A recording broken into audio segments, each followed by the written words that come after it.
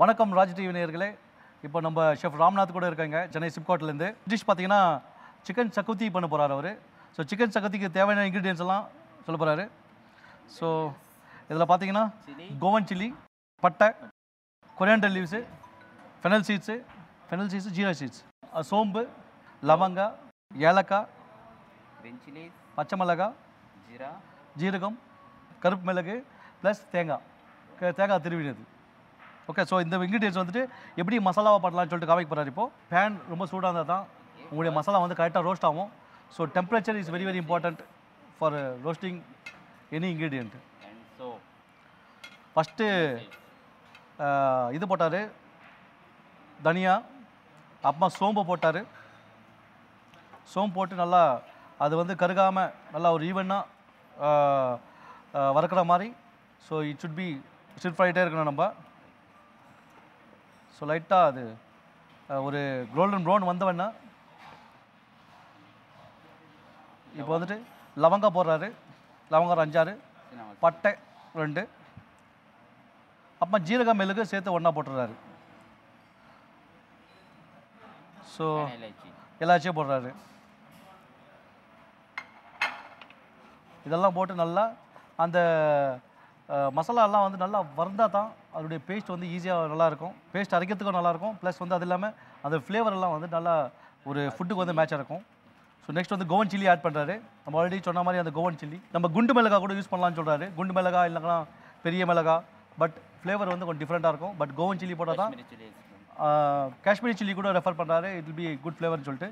But இந்த கோவன் chilli போட்டிங்கன்னா அதோட அத்தன்டிக்கான டேஸ்ட் இருக்கும். தேங்காய் திருவினது so how much coconut we need to put chef So one coconut. one coconut and ingredients all like even Even like a pinch 10, pinch 10. yeah 10 10 grams something like that சொல்கிறாரு so நல்லா வறுத்துட்டு பிறகு ஒரு தீயாமல் like நல்லா ஒரு இதாகாமல் வறுக்கணும் so ரொம்ப தீச்சுனாக்கெல்லாம் smell வந்து டிஃப்ரெண்ட்டாக இருக்கும்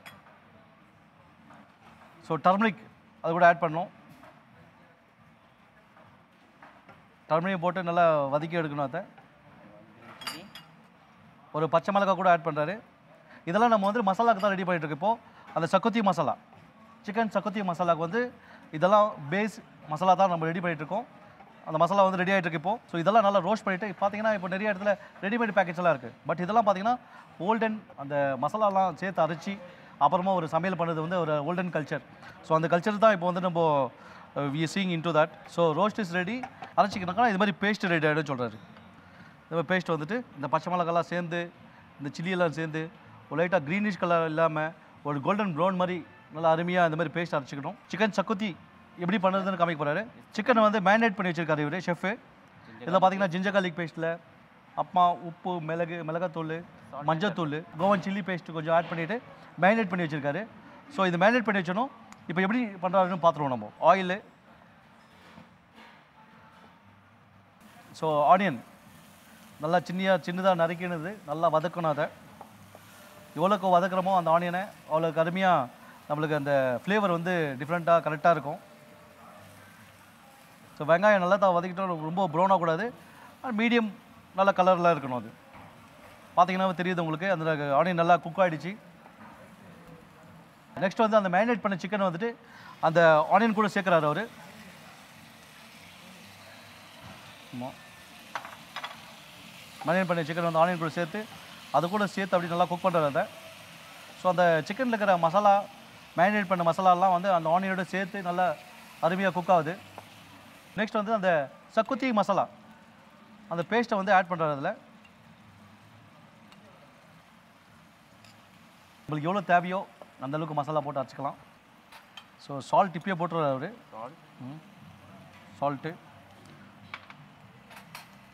பானி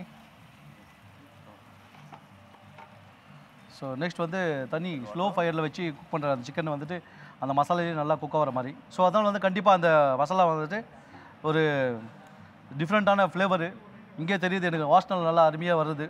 ஃப்ளேவர்ஸ் எல்லாம் டிஃப்ரெண்ட்டாக இருக்குது கோவன் ஃபுட்ஸ்வேல் என்னன்னா சென்னையில் வந்து பார்த்திங்கன்னா நிறைய இந்த ஐடி செக்டார் இந்த ஓஎம்ஆர் மார்க்கெட்டில் இருக்கிறதுனால நம்மளுக்கு வந்து இந்த சீ ஃபுட் ஒரு உணவு வந்து டிஃப்ரெண்ட்டாக இருக்கும். It's not only sea food நம்ம வெஜிடேரியன் டிஷ் ஃபுட் நிறைய பண்ணிட்டு இருக்காரு அவர்.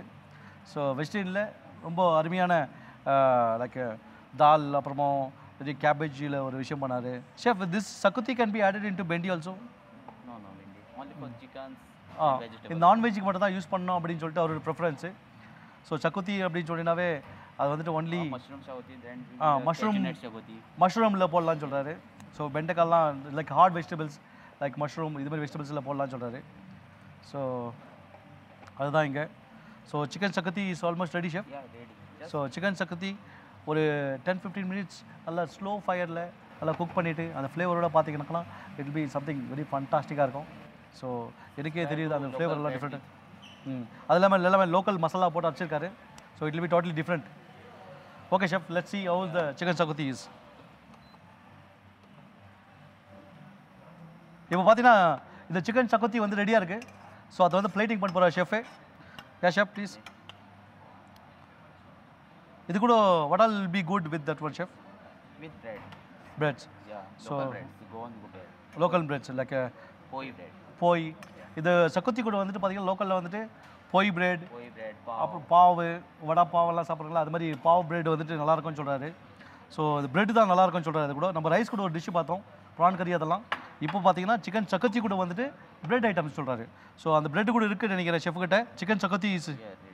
Ready இங்கே தான் சிக்கன் சக்கத்தி அந்த கலர் அந்த ஸ்ட்ரக்சர் அந்த ஃப்ளேவர் எல்லாமே பார்த்தீங்கன்னா ரொம்ப அருமையாக இருக்குது ஸோ பார்க்கறதுக்கு சாப்பிடணும் போல தோணுது.